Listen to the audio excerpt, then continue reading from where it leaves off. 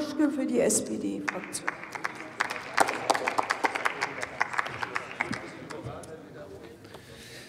Sehr geehrte Frau Präsidentin, liebe Kolleginnen und Kollegen, meine sehr geehrten Damen und Herren!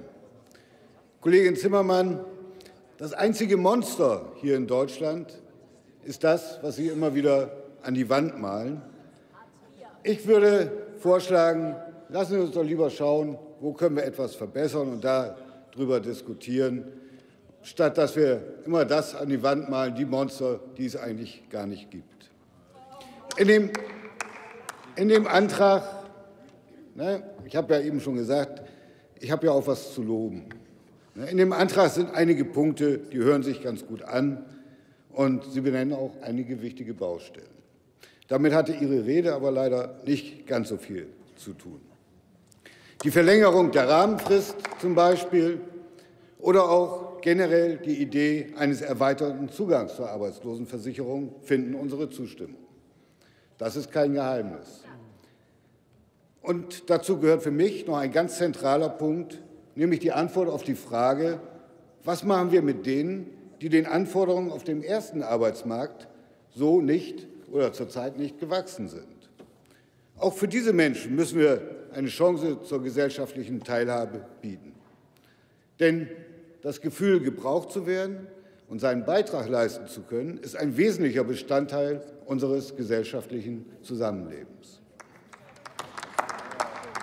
Dabei geht es auch manchmal einfach nur um Teilhabe, einfach darum, einen sinnvollen Beitrag für diese Gesellschaft zu leisten. Und ich finde, da gibt es eine kluge Idee. Statt Arbeitslosigkeit finanzieren wir einfach Arbeit. Passiv-Aktiv-Tausch nennt sich das.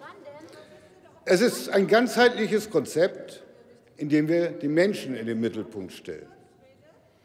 Aber es wird auch in einem Ihrer Anträge gefordert. Aber ich sage noch mal an dieser Stelle, es ist ein bisschen zu einfach, was da drin steht, einfach 200.000 Plätze für ein Förderprogramm zu fordern und dies völlig ohne Kriterien, die zum Beispiel Mitnahmeeffekte ausschließen. Zum Passiv-Aktiv-Tauf gilt es, hier noch dicke Bretter zu bohren, auch und insbesondere bei unserem Koalitionspartner. In einer idealen Welt wäre es ja ganz einfach. Ne, die Fachpolitiker sind sich weitgehend einig, dass das ein gutes Instrument wäre. Und wir brauchen eigentlich nur noch den Bundesfinanzminister an unserer Seite.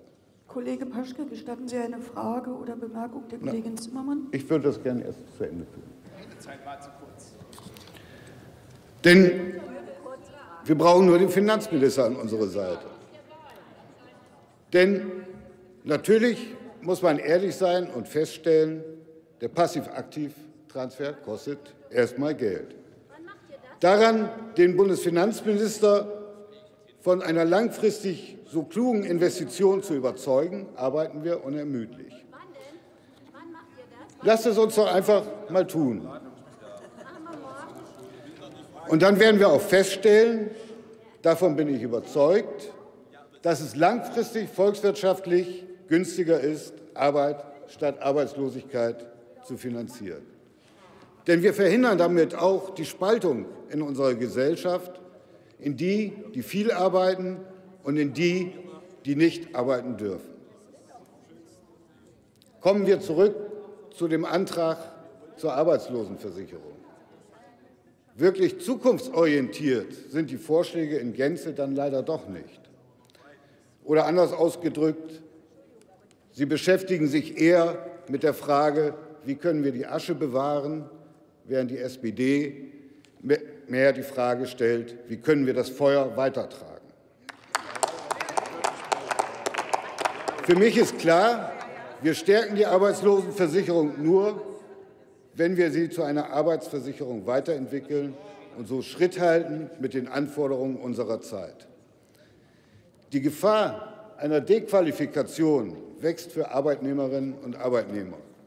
Die immer schneller fortschreitende Entwicklung von Technik, Maschinen und Arbeitsprozessen verlangt nach erweiterten und teilweise auch völlig neuen Kenntnissen. Hier gilt es anzusetzen und die Menschen aktiv dabei zu unterstützen, ihre Qualifikationen zu halten und zu erweitern. Das sehe ich neben der Absicherung von Arbeitslosigkeit als zentrale Aufgabe einer zukunftsorientierten Arbeitsversicherung. Das Feuer weitertragen, das machen wir. Mit dem von Bundesministerin Andrea Nahles vorgelegten Gesetzentwurf zur Stärkung der beruflichen Weiterbildung und des Versicherungsschutzes in der Arbeitslosenversicherung tun wir nämlich genau das. Wir investieren in eine berufliche Weiterentwicklung und Weiterbildung.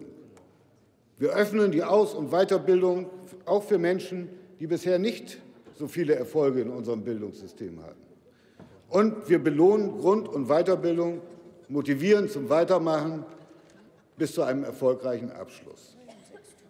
Und wir verbessern die Möglichkeit einer freiwilligen Weiterversicherung in der Arbeitslosenversicherung, damit wir nämlich gerade die Menschen, die sich selbstständig gemacht haben oder die äh, Verwandte pflegen, auch davor schützen, dass sie ihre Ansprüche verlieren.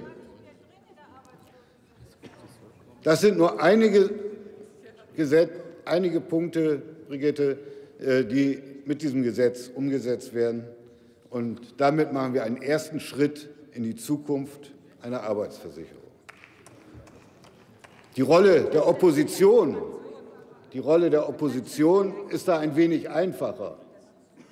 Der Schritt ist immer zu kurz, es ist zu wenig oder es ist zu viel. Ich bin da ganz pragmatisch. Lieber viele kleine Schritte in die richtige Richtung als ein großer Schritt zurück. Daher werden wir den Antrag heute ablehnen. Dankeschön.